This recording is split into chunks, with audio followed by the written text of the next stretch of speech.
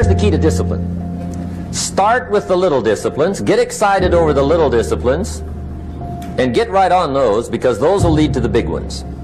You can't handle the big challenges in life unless you take on the little ones. Make a list of all the things you can do, get right on those, discipline yourself for those, both for the results and for the muscle and for the practice. So that when life hands you some big challenges, you'll be ready, you'll have the muscle. But see, if you don't handle the small ones, you can't take care of the big ones,